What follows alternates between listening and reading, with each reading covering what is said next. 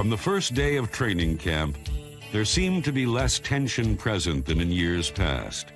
The atmosphere was peaceful. New head coach Jack Pardee vocation was not in taunting his players, but teaching them. I think it's a lot more relaxed. It's a lot more business-like, and you, you see a lot more learning going on. Uh, it's not a lot of standing around. There's a whole lot of things going on in a lot of different places.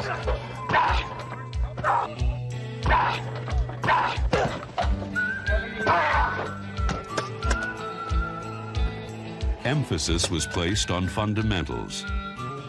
With Pardee, the defense was taught the ABCs of the 4-3, while the offense learned the three R's, reading schemes, receivers' routes, So hum, 35, scrap and the run and shoot. But the transition from practice field to playing field did not go smoothly at first. Blue 70! Check B. Blue 70! Sun! Time. It takes a while to get it down. There's so much reading going on. The players really have to be thinking. And if not, it, it looks it, it, looks pretty ugly if they're not doing it right. And once we get on track, we're going to be very explosive, and we're going to be uh, a team that everybody's going to fear, I think. With the NFL's deadliest passer and the league's deepest receiving corps, Houston fashioned a daring and dangerous attack. But the Oilers were not just a team of the pass. They fielded the AFC's second ranked rushing defense. Games were hard fought, and victory became a battle of wills. The entire season came down to the wire, and in the end, the Houston Oilers earned their fourth consecutive playoff berth and displayed a license to thrill.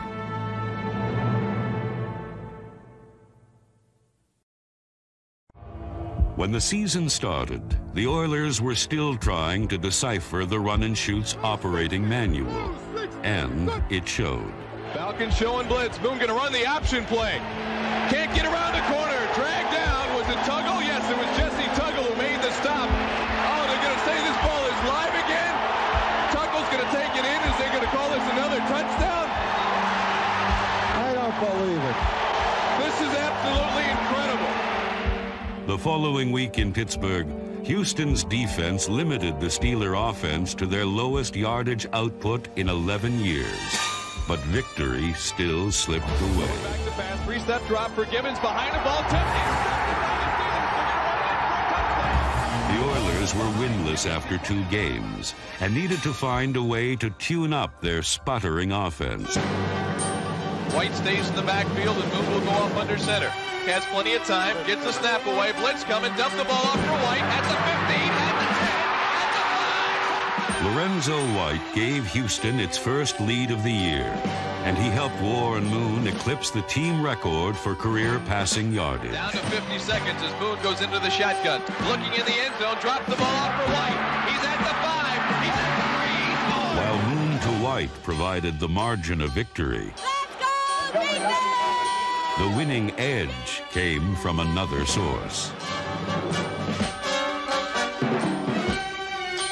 The Oiler defense produced four turnovers and over the course of the game knocked all three Colt quarterbacks out with injuries. Houston finally had win number one. The following week in San Diego, the defensive line of William Fuller, Ray Childress, Doug Smith, and Sean Jones, number 96, continued to apply the pressure to make sure the Oilers never trailed. Tolliver's going to throw. Moves out of the pocket, throws over the middle, ball intercepted. That is Dishman. He's got it at the 41-yard line, and now they're penalty. Three Charger mistakes set up scoring opportunities for Houston. And for the third time of the young season, the offensive line of Mike Munchak, Bruce Matthews, Don Maggs, David Williams, Doug Dawson, Jay Pennison, and Dean Steinkuhler provided the protection that helped Moon pass the 300 yard barrier.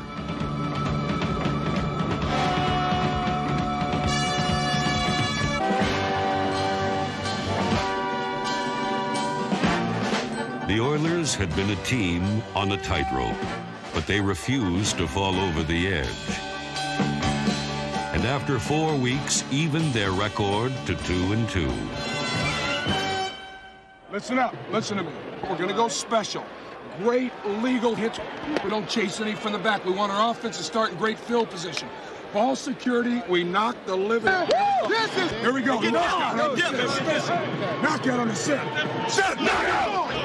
Against the defending world champion 49ers, the Oilers played like a team possessed. And yes, they did get a knockout. Houston dominated the entire first half, and the Astrodome was transformed into a good old-fashioned hoedown. The Oilers seemed determined to stomp out San Francisco's winning ways. And Moon's receivers trampled the 49ers secondary with perfectly timed routes. Deep down the middle, hands the man, Drew Hill, touchdown!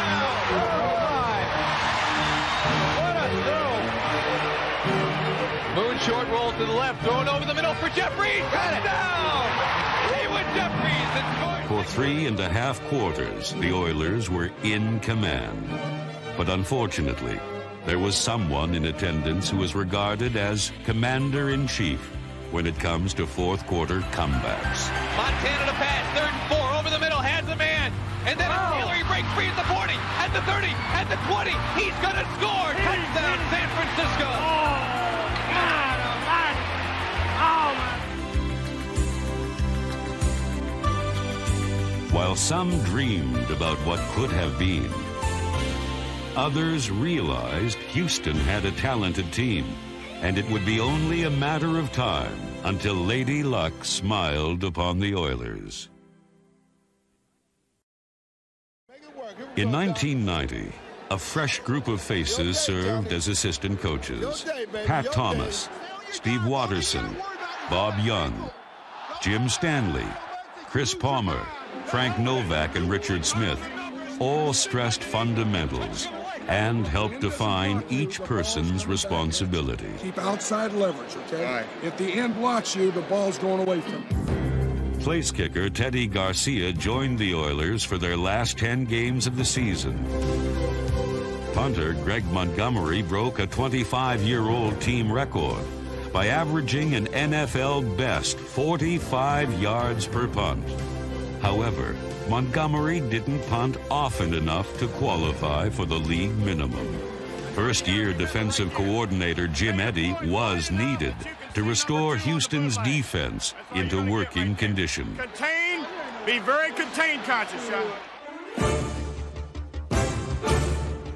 In 1990, Houston's defense played within the rules and channeled their aggression into hard hits and big plays. The Air Patrol of Terry Kinard, Cris Dishman, Patrick Allen, Bubba McDowell, and Richard Johnson, number 23, secured the secondary, which allowed Houston's front seven to attack at the source. The Oilers' 4-3 defense featured a scheme that blitzed linebackers. Here, Al Smith fills in the hole. In the Oilers' new scheme, everybody had a turn. In week six, Houston repeatedly blitzed, disrupting the passing game to cause four turnovers in a rout over the Bengals. Boomer back the pass. Throws it out on the far side. Ball is tipped off Mahomes' hands. Intercepted. This is Richard Johnson at the 20, at the 10, at the 5, and score. The following week, Johnny Meads, number 91, earned NFL Player of the Week honors as his well-timed hits forced three fumbles in a victory against the Saints. Meads finished the game of his career with his first ever pass interception. In 1990, Houston's defense improved in nearly every statistical category. But just when the Oilers finally seemed to gel together, the bugaboo of inconsistency reappeared. After nine weeks, Houston's chances for a division title dimmed. But the 4-5 Oilers would emerge from the shadows following their idle week off to build some momentum towards a second season surge. And they did it by returning to the foundation of their attack. Moon stepped into a pocket formed by blockers that seemed to never allow a defender inside its wall of protection. Time, throw it deep down the sidelines for Jeffires at the five, touchdown! Yeah. There it is! Moon will go back to pass. Three steps, right throwing here. it for Tony Jones. Touchdown! Brown showing blitz. They're bringing seven. Moves there. the pass off for Duncan at the 20. With five touchdown passes to five different receivers, the Oilers cruise past Cleveland. Let me get in the rhythm. Let me get in the rhythm, all right? He's throwing on rhythm. We're getting a pass rush. But even with his back covered, at times Moon still shot blanks. Drops back five steps, sets up, throwing deep down the middle for Jeffires. And the oh, he can't read it in the 10 yard line. He Houston's complex system was stymied by overlooking one simple rule eyes on the ball. Gilbride set his receivers straight and soon their names became a constant at the top of the receiving charts. They were nicknamed the Fab Four, and their pictures were plastered everywhere. Houston's huddle contained more stars than there are in the heavens.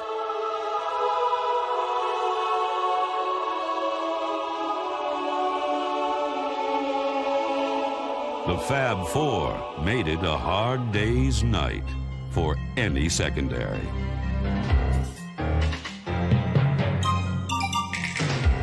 Haywood Jeffires led the conference with 74 catches and 1,048 yards, shattering his previous highs.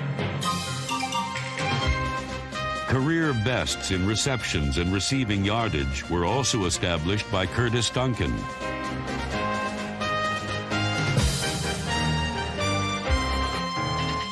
Hill matched Jeffires' 74 catches, and for the fourth time in his career, Hill broke the 1,000 yard barrier.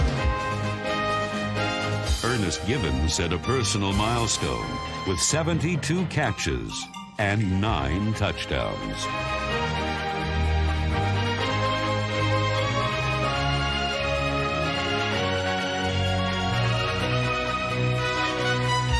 These record setting receivers, Houston started down the long and winding road to the playoffs.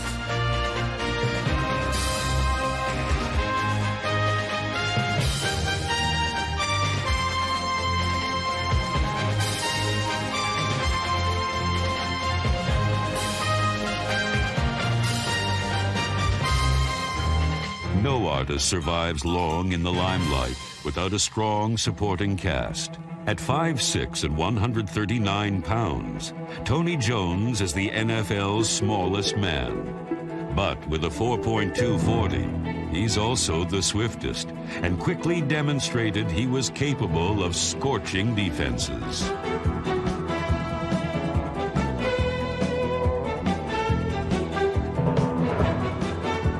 Jones caught six of Moon's 33 touchdown passes and joined with Gerald McNeil and Leonard Harris, number 83, to give the Oilers a trio of talented reserve receivers.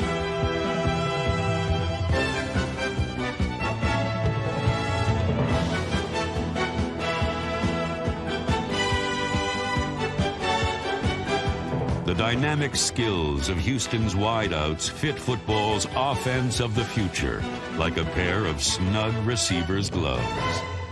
The run and shoot employs four receivers that stretch the defense. One receiver occupies the underneath coverage. This gives the passer an unobstructed path to another receiver in the same zone. It's an offense that overloads a defense and is able to get a receiver so far wide open, there seems to have been a blown assignment in the secondary. If the defense blitzes, the quarterback finds the one-on-one coverage and throws the ball where it cannot be intercepted.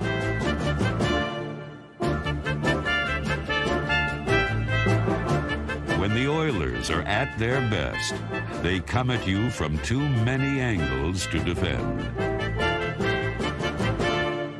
Hum 80Z Go is Houston's equivalent to basketball's pick and roll. Defenses knew it was coming, but couldn't stop it.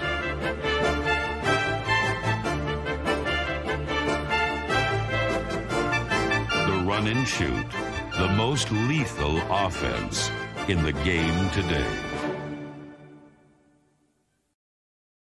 Just like Coach said, we getting a second chance. Not too many teams get a second chance. Here we are, same places last year. Remember last year. Let's get it done today. A win on three. One, two, three. Houston tried to avenge last year's 61 7 loss to Cincinnati. And guided by Moon, the Oilers led for most of the game. However, every completed pass made him a more desirable target. You know that defense is gearing to stop you, and, and all of a sudden, wham, somebody lays a helmet on you and kind of knocks you into oblivion. You're in your follow-through motion. And those are the ones that people really never see because once the ball leaves your hand, then they follow it down the football field. Just when the Oilers had the division title within their crosshairs, Moon was caught in the crossfire. Houston's postseason fate was held by a backup quarterback against a familiar foe. It always comes down to Pittsburgh, don't it? always comes down to Pittsburgh. For both teams, the situation was cut and dry. Win the game, and you're in the playoffs. Lose, and the season's over. All right, Cody, you can do it!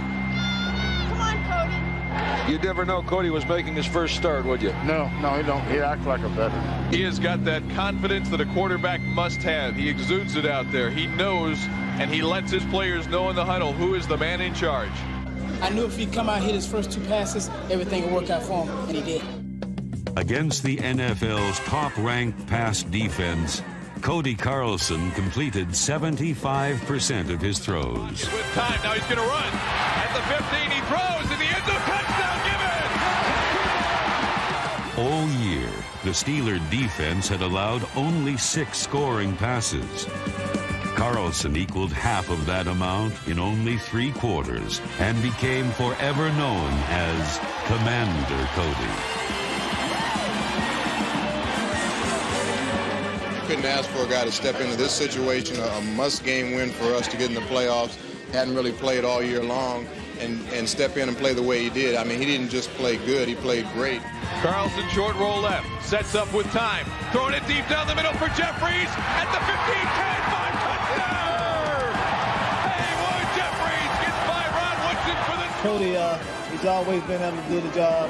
Hey, I guess uh, the critics know uh, what type of backup he is. The critics also discovered another strength the Oilers can call on.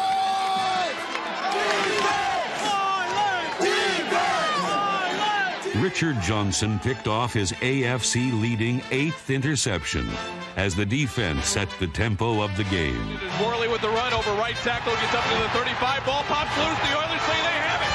Lamar Lathon with a big, big hit. In his first start of the season, Lamar Lathon produced the game's first turnover and finished off the Steelers. We did what we had to do. We took the game.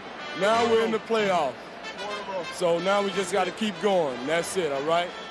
Perhaps the greatest display of guts was shown by the Oilers' offensive line.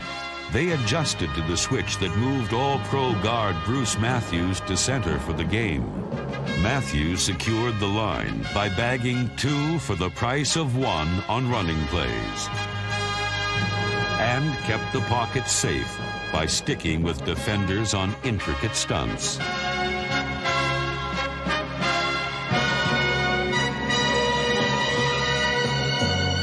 With Matthews at center, Houston was heading in the right direction, and the Oilers followed his lead to completely dominate the league's number one rated defense.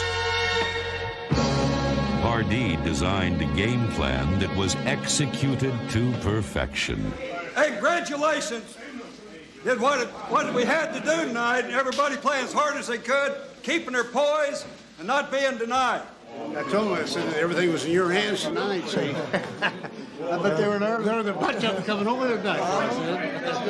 Well, you know, Jack just brings that stability that we need in the organization. You know, we're all dedicated to success, and Jack's a very integral part of that. We've had a lot of peaks and valleys, and and uh, what he demands more than anything is just trying to be consistent, and that's what the good teams do week in and week out.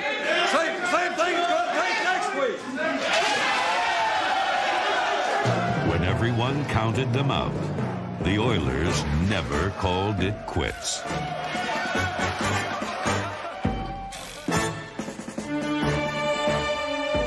In 1990, the Oilers were the only AFC team to qualify for the postseason for the fourth straight year.